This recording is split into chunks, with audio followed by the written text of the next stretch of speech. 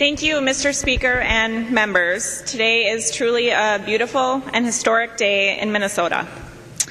And we are here together, as we are many days, as 134 Minnesotans elected from all corners of this great state.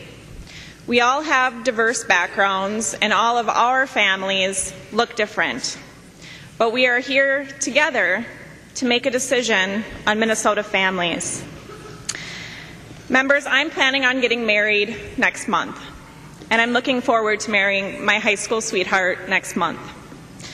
But not all Minnesotans have the freedom to marry the person they love like I do. Members, now is the time that we all allow all Minnesotans the opportunity to marry the person that they love.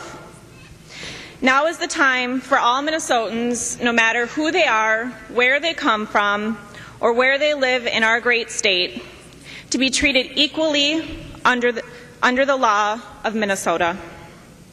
Members, please join me and vote for freedom, love, and equality. Vote green. Thank you.